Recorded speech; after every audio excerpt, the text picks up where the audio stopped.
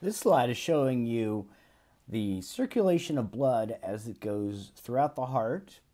And I really like this, this specific slide because it shows what's going on in both sides. However, it's very difficult for students to understand this because the heart is a dual pump.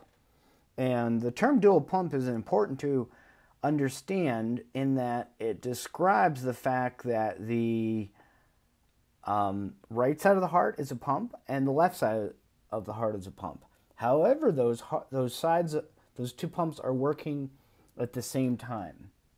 So each side supplies its own circuit. So we're going to start looking at the right atrium, which is usually where people describe this first when they trace the pathway of blood as it goes throughout the heart. So first of all, we start with deoxygenated blood over that's going into the right atrium and it goes into the right atrium through these three blood vessels. Now the coronary sinus is one of the cardiac veins because remember blood has to be delivered to the myocardium as well. So um, remember that if it's blue, it's signifying deoxygenated blood or poorly oxygenated blood. So from here, the blood goes uh, from the right atrium into the right ventricle through the tricuspid valve. And the tricuspid valve is the right atrioventricular valve. So those two things mean the same thing.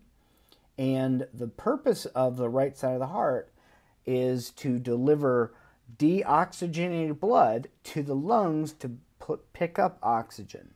So blood leaves the right ventricle, it goes out the pulmonary semilunar valve, and the pulmonary semilunar valve is located right in this area. So the pulmonary semilunar valve is going to allow blood to leave the right ventricle. It goes out into the pulmonary trunk, which then goes into the pulmonary arteries. And one important thing to know is that arteries always take blood away from the heart, whereas veins always deliver blood back towards the heart. So as we follow through the rest of the right side of the heart, blood is now on its way to the lungs to pick up oxygen. So that's the job of the right side of the heart. The left side of the heart is going to be receiving fresh oxygenated blood into the left atrium. And it receives this through pulmonary veins, which are found on both sides of the heart. The right atrium kind of covers these two up, but if you, we look on the posterior side of the heart, we can see them. So there's two on each side, so four total. Deliver that freshly oxygenated blood that's returning from the lungs to the heart, and it goes through the mitral valve, which is the bicuspid valve, and that's right here.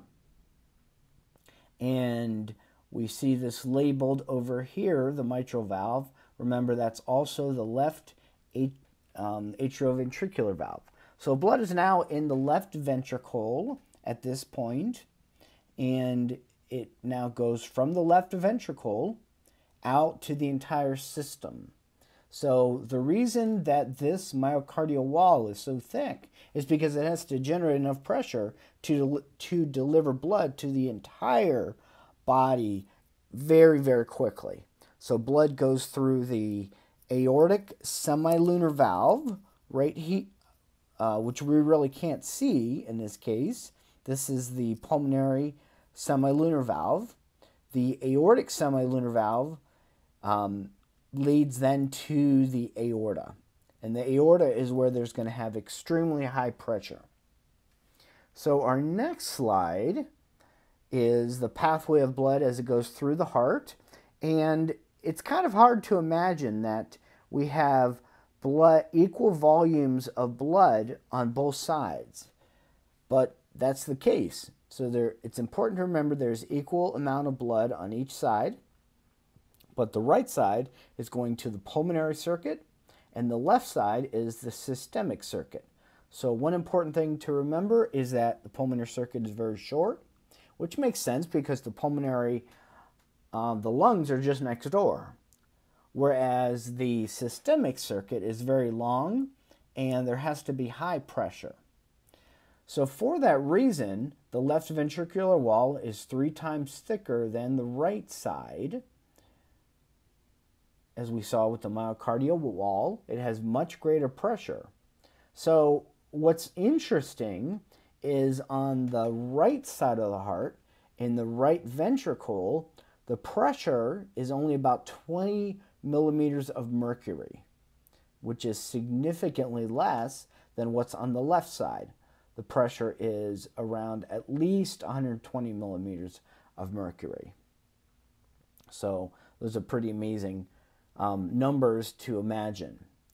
So, we've talked about the pulmonary circulation, we've talked about the systemic circulation, we just haven't talked about the coronary circulation yet. The coronary circulation is what includes the um, coronary blood vessels, and they it is the shortest circulation in the body. Blood comes directly off of the aorta, and it delivers oxygen to the myocardium. So the coronary arteries begin with the left and the right coronary arteries. They arise from the bottom of the aorta and they then branch into other blood vessels. They contain many anastomoses. Anastomosis is a junction. It is where there are um, there can be combinations of blood vessels, and this is what's really interesting is this happens after a cardiovascular incident. There's going to be natural anastomoses that form. So the different coronary blood vessels you should be aware of are the, the two main ones first are the left and the right coronary arteries. And the left coronary artery branches into the anterior interventricular artery. It's also called the left anterior descending artery. And it's also called the widowmaker because it causes, um, it kills a lot of men, leaving widows. So that's the front, but then on the side, the cor- left coronary artery becomes a circumflex artery. So we'll look at that next. Might be easier if I go uh, back and forth here. So we have the left coronary artery. It is going to lead to two different blood vessels. The first one is the anterior interventricular artery, and the circumflex artery, which is on the side of the heart. So those are the two branches to know. When we look at the right coronary artery, it all it is going to branch into the right marginal artery and the posterior interventricular artery in the back. And this is a long artery that circles around the right side of the heart and it supplies the SA and the AV node, also part of the interventricular septum. So let's take a look at that now. We see the right coronary artery here, and it's going to end up wrapping all the way around to the back of the heart, and it then leads to the right marginal artery in the front. It's a smaller one down here, and the posterior interventricular artery, which would be in the back. That's why it looks kind of has a lighter color on this diagram. So the coronary veins now are going to be the blood vessels that are, are going to return the carbon dioxide from the myocardium back eventually to the right side of the heart so that it can pick up oxygen from the lungs. So those coronary veins include the coronary sinus, and the coronary sinus has um, it basically receives deoxygenated blood from three different blood vessels the great cardiac vein, the middle cardiac vein, and also the small cardiac vein. And these three we can see um, over on the right side of your diagram. And the great cardiac vein, it's important to remember that that runs alongside the anterior interventricular artery. The small cardiac vein is going to run kind of alongside the right marginal artery. And then the middle cardiac vein is going to be in the back of the heart. It's going to run alongside the posterior interventricular artery. So those are all of the main coronary blood vessels that you should be aware of. And um, the problem with these is there can be myocardial infarctions that happen because of this. The symptom of this is thoracic pain caused by a deficiency of blood delivered to a myocardium, and that's called angina pectoris.